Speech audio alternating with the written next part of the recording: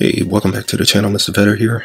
Have another pretty cool tabletop gear review for you today. What you happen to be looking at here on the table is a Mossberg 500, but this is why we're here. This is the Opsol mini clip. It's made by a uh, veteran-owned company. I'm a veteran, so I like to support other veterans as much as I possibly can. And what this mini clip will give you the ability to do is, here's a look at the mini clip here. It's just a simple piece of uh, rubber, very flexible. As you can see, it's pretty flexible, but it's rigid down here where it needs to be.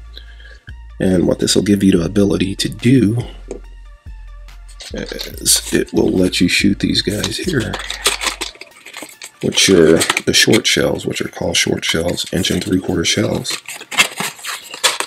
These shells come in bird shots as well as uh, there's some slug variants out there. There's another company that make these. I got these from Challenger, but I also bought them by a company called Agula or Aguila, depending on how you say it. But there are several uh, companies out there in the market that make these. So these are really awesome. Um, I think I paid about 12 bucks for 20 shells, which isn't terribly bad. Just a uh, great, awesome light load. It's just a really awesome shell to shoot. Great for self-defense if you're worried about over penetration in your house. This is another good reason why you could get these short shells and you know you don't have to worry about all this extra energy. You're gonna get great penetration on the target that you're shooting at, but you get a lot less penetration that you would if you were shooting a two plus inch full size shotgun shell.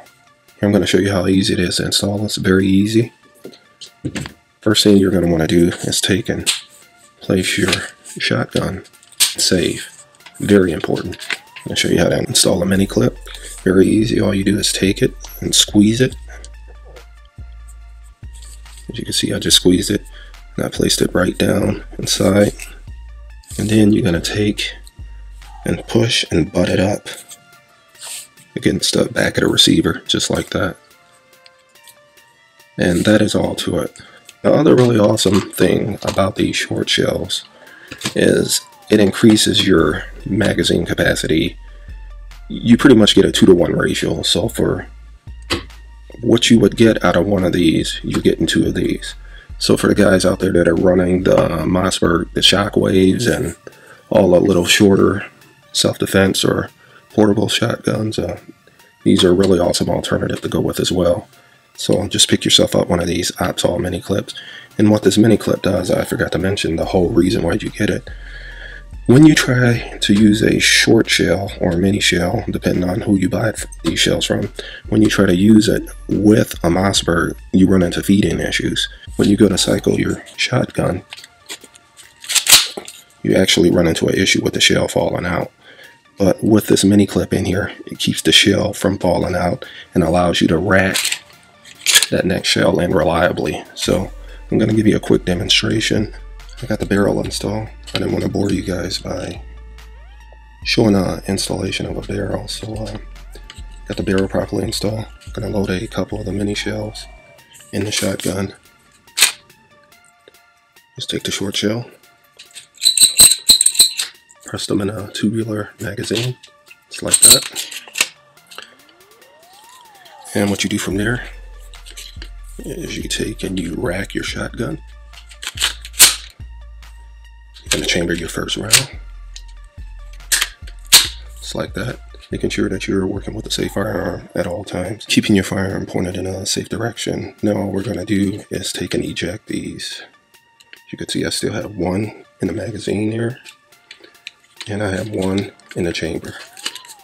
So I'm just going to take and press my eject button here.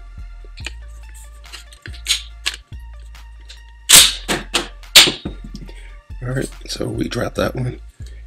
To remove the Opsol mini clip, all you do is take your pump, move it in the back, midways towards the back, just, about that much.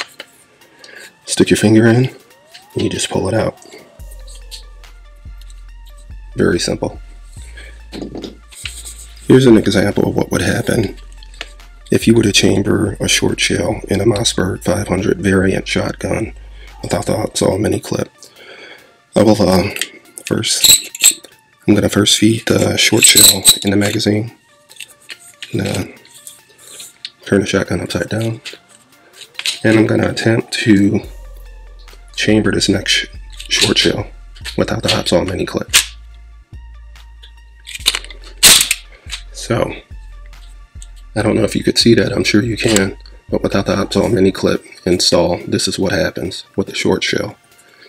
This is why you would want to purchase the Opsol mini clip. Alright, so in closing, I'm definitely going to give the Opsol mini clip two thumbs up. This is made by a veteran-owned company. It's made in the USA. It provides really great reliability for your five, Mossberg 500 platform uh, shotgun.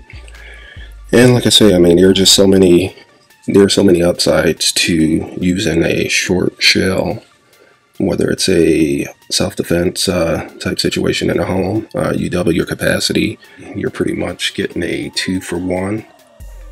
And it's uh, it's a lot lighter shooting, you know. So if you have any females in your life, whether it's your mom, your sister, your niece, your daughter, girlfriend, whoever it might be, or even you know for some of the smaller kids that are getting into trap and target shooting, um, these are a great option. These uh, are still very lethal. They're moving at 1200 feet per second. You know, you're moving at lead at 1200 feet per second. So using uh, a short shell, it's, all, it's an all-around win-win if you ask me. You know, I've shot probably a couple thousand of these things using an Opsol mini clip and I've never had any malfunctions, no failure to feeds, no double feeds, anything of the sort. So um, I really swear by this product. Go out, pick yourself one up for 15 bucks. Uh, this is the best 15 bucks I've spent in several years. So uh, go out, pick yourself one up, and you'll thank me later. As a matter of fact, come back and let me know how you like it. Once you pick yours up, come back, leave a comment. Um, I will leave a link in the description where you could pick yours up at. So check it out. Mr. Vetter also like to remind you guys, hey, don't forget to thank your local LEO, your local first responders, and EMS out there.